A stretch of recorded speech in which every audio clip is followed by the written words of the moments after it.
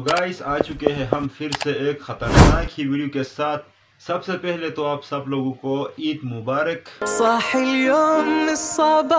तो मैंने आप लोगों के लाया है ईद गिफ्ट तो ईद गिफ्ट में बहुत ही खतरनाक वीडियोस मेरे पास आ चुके हैं। जी हाँ भाई आज हम फिर से देखने वाले हैं रियल गोस्ट जो कैप्चर हुए हैं कैमरे में। एंड तक बने रहेगा चलिए वीडियो को शुरू करते हैं। तो ये कुछ कैप्चर करने वाले हैं अभी। देखते हैं हमें क्या देखने को मिलेगा।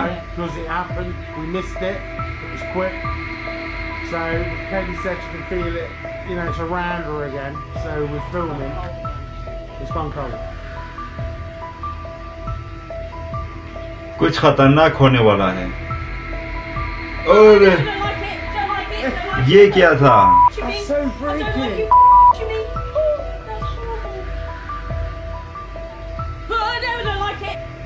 भाई, ये तो समझ से बाहर है।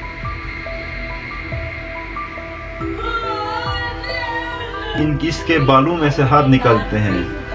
हालाँकि इसके पीछे कोई नहीं है। यार, ये क्या? ये तो बिल्कुल बिल्कुल ही समझ से बाहर है। ये लड़की शक्ल से ही मुझे डरावनी लग रही है। इस तरह के लोगों से दूरी अख्तियार करना चाहिए।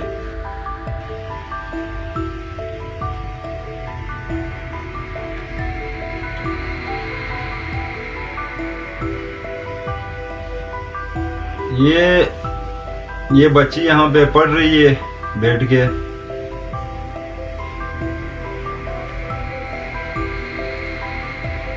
अरे, उसके हाथ में जो बुक है,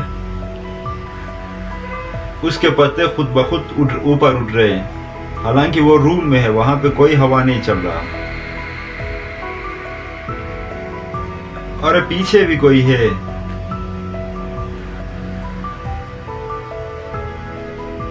अरे भाई। ये तो भूत ही है यार।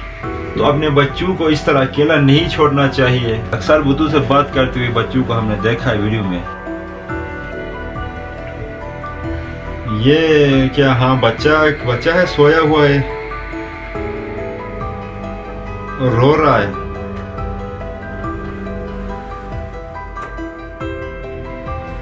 अरे। यार। किसी ने इसको खींचा?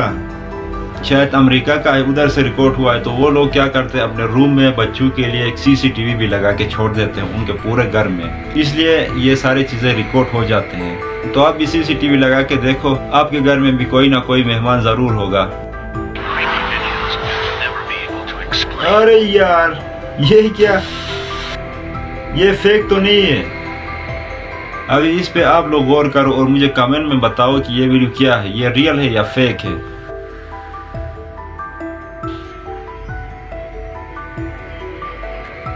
ओ तेरी। ये क्या ऊपर से ईंट गिरा और एक बूढ़ा आदमी था वो और बच्चा गायब हो गए उधर से।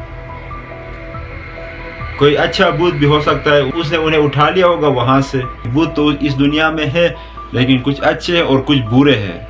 जो बुरे हैं, वो बुरे लोगों की तरह बुरे करते रहते हैं, जो अच्छे हैं, वो अच्छे लोगों की तरह अच्छे करते रहते हैं। तो आप भी अच्छे लोगों की तरह लाइक मारो वीडियो को चैनल को सब्सक्राइब करो और अच्छे लोगों की तरह सपोर्ट करो यार अपने भाई को। चैनल को सब्सक्राइब करो और हाँ मिलता है नेक्स्ट वीडियो में।